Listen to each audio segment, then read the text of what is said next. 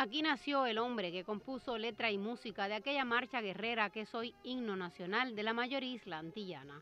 El bayamés fiel a su tiempo, a la amistad, al decoro y a la patria que soñó libre. El perucho de la historia cubana fue un confeso enemigo del servilismo y la injusticia.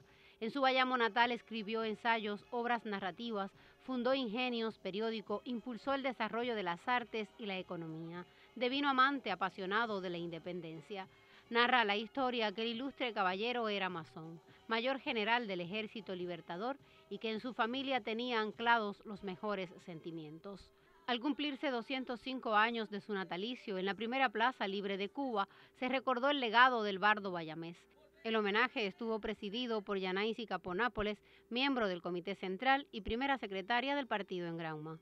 Perucho Figueredo no solamente fue el autor de nuestro himno nacional, sino que eh, Perucho legó un ejemplo, legó una actitud que es paradigma para los cubanos actuales. Por Perucho Figueredo hoy volvieron a alzarse las banderas. Para él fueron otra vez las notas de la épica marcha que nos regaló e identifica como nación. En Gran Maya, Kelin Pérez, Sistema Informativo de la Televisión Cubana.